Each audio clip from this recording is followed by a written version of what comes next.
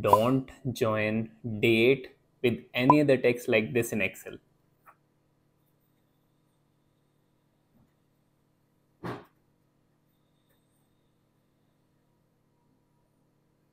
As it will change the date format to number format. So instead of this, you can use one function that is text function. Let me showcase you.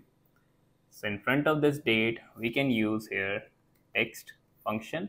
So this will be the value and we can use comma and the format part will be in double quote we will type dd slash mm slash yyyy. So this is the format.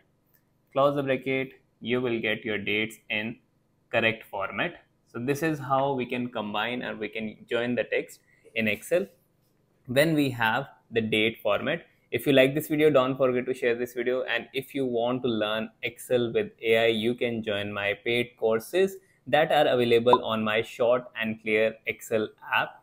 You will get the link in description. Go and download now and join the paid courses and start your learning journey.